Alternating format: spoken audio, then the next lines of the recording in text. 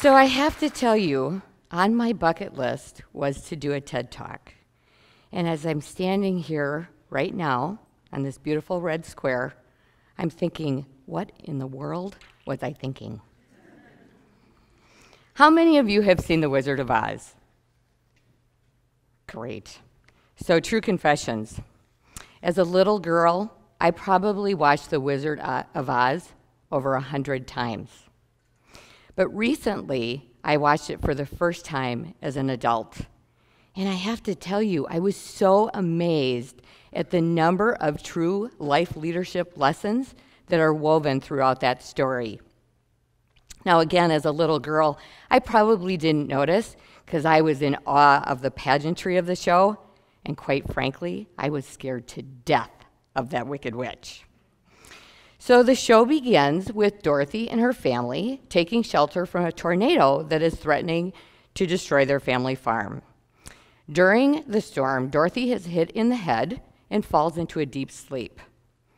Fast forward to her waking up, understanding that she, she doesn't know where she is but she's pretty sure she's not in Kansas anymore. She meets a quite diverse group of characters, the Munchkins, who inform Dorothy that she has landed in Oz. Oz is an amazing place, and the Munchkins inform her that they are thrilled with her arrival. The reason they are thrilled is her home has landed on the Wicked Witch of the East killing her instantly. Now, as you can imagine, her sister, the Wicked Witch of the West, is not pleased and not a very big fan. But she meets a really nice witch, Galinda, who informs her that the ruby slippers she is now wearing will keep her safe. Understanding that the only way for her to get back home is to take the yellow brick road to the Emerald City to meet the Wizard of Oz, she is off. Now, at this point in the show, I'm starting to understand through my adult lens that this, The Wizard of Oz is really more than just a wonderful movie. Think about what Dorothy must have been thinking when she met those munchkins. Man, they sure didn't look like anybody that she knew in Kansas. Which I think leads us to our first life lesson, and that is just because someone doesn't look like you doesn't mean that they don't have great ideas or add tremendous value. Dorothy listens and she trusts that what they propose would be a good next step.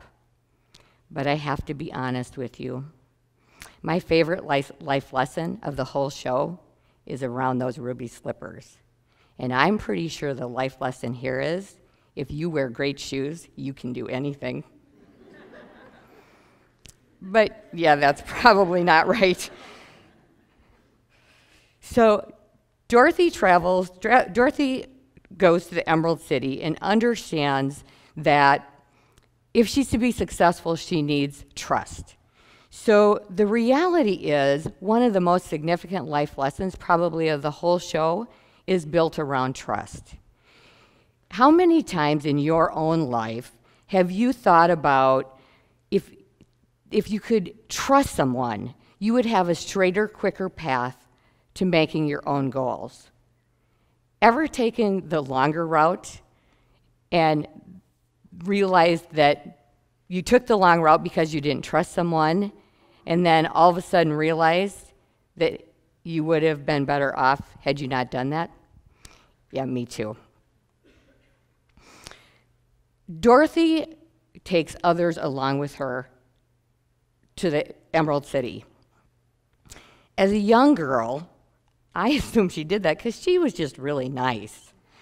But as I looked at this through my new adult lens, it hit me.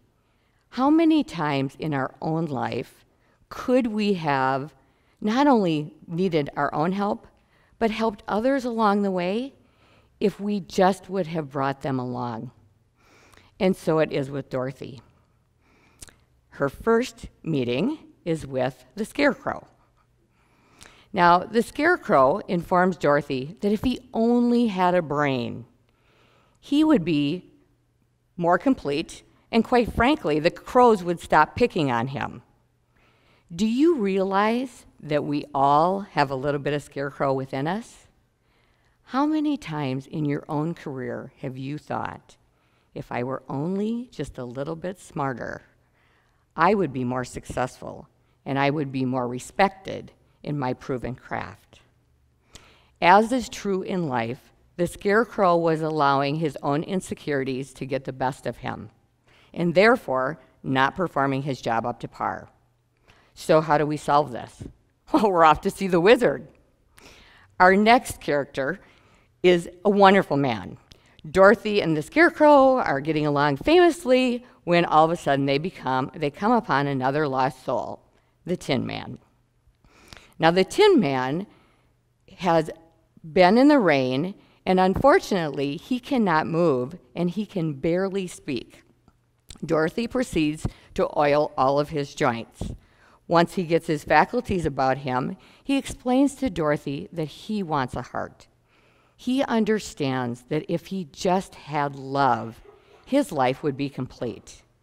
How many times in your own life have you thought, if I only felt more love, if I felt love, I would feel more fulfilled? Everyone in life seeks that special someone that you can share life's challenges and successes with, much like our friend the Tin Man. Now, I'm going to be honest, my favorite character is next the cowardly lion. He wants to assume his place as king of the forest, but lacks the courage to do so. He has the breeding, he has the lineage, but he lacks the courage to assume his given leadership role in life. So the team assures him the wizard can help. So, as I was thinking about this, I was thinking about the thousands of people who have walked through my door. Many of them were incredibly capable, but they lacked the courage to try, much like our friend the lion. Others had great technical competencies or the brain, but they lacked the emotional intelligence or the heart to move up the corporate ladder. And still others, quite honestly, were lost and simply needed someone to help them to find their way home, or in this case, to find a new career. After 21 years in executive search, I know one thing to be true. That is, all of you have natural gifts. It is not something that you trained yourself to or were educated to, it's just something that is in your DNA. Remember that young man in high school who was good at every sport and it seemed like he never even had to practice? That's a DNA gift. Same is true for the girl who never cracked a book and got straight A's. Yeah, I hated her too. But here's an interesting fact every single one of you have natural DNA gifts. The true trick in life is figuring out what your natural gifts are, and you will be wildly more successful in your career and, quite frankly, in life, much like our friends who are going to see The Wizard of Oz are searching for. So, how do you decide or figure out what your natural gifts are? So, as a starting point, I would suggest this make two lists. The first list is all the things you are passionate about, all the things you really love. There's nothing you shouldn't write down. The second list is all the things you're good at. Love to play piano? Write that down. Like to cook? Write that down too. Once you've taken a good amount of time to compose those, both lists, blend the lists together, and see where you have common threads.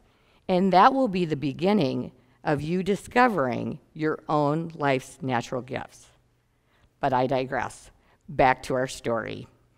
So, Dorothy, the Scarecrow, the Tin Man, and the lion arrive at the Emerald City. They are prepped to meet their new leader. So, once they are appropriately groomed and attired, they are introduced to the great and powerful Oz. He is terrifying and not a kind man at all. Or at least that's what he wants them to believe. The, the great and powerful Oz gives them, at this point, what would seem like an almost impossible task. If he is to help them to attain their goals, they must bring back the broom of the Wicked Witch. Now, the lion is ready to bolt, the Tin Man is quite miffed, and Dorothy, always the collaborative one, rallies the team together to say, Together we can be successful. They meet many obstacles. Dorothy is captured by the witch. The scarecrow is set on fire. Yet, despite these odds, they throw a pail of water on the wicked witch and she melts. They grab the broom and they're back off to see the wizard. I was, as I was thinking about this and thinking about our own lives, how many times have you been challenged by tasks that feel seemingly impossible? The reality is, if you stay the course, you can be successful. I remember as a little girl my father saying to me, Nothing in life worth having comes easy. At that moment in the show, I knew exactly what he meant. But he also told me if you stay the course and work through all those challenges, you will win. So, of course, our team delivers the broom to the Wizard of Oz. And he looks at them and he is not going to honor his commitment. At that point, I also remember my dad saying, Life is not fair. But Dorothy, a woman ahead of her time, I might add, stands up for her rights. But the true hero here is Toto, Dorothy's dog, who pulls back the curtain to reveal an unassuming man who simply repeats, Ignore the man behind the curtain. Well, as we all know, ultimately he was caught and he discontinues the facade. The wizard, who wanted people to believe he was this terrifying leader, was a kind and gentle man who really did want what was right. How many times have you misread someone in your life? I know for a fact I have. The wizard approaches the scarecrow and awards him an honorary degree. Immediately, his body posture straightens and he speaks with great brilliance. He approaches the tin man and gives him a heart, and he begins to cry. For the first time, he feels love. Then he listens to the lion and he restores his courage. At least, that's what I thought as a little girl. The story continues with the wizard, a failed balloon ride, and Galinda. And at this moment, I would tell you one of the most profound lessons came from Galinda when she looked at Dorothy and she said, My dear, everything that all of you have been searching for was inside each of you all along. I thought about that, and you know what? It's so true. Everything you want is inside of you right now.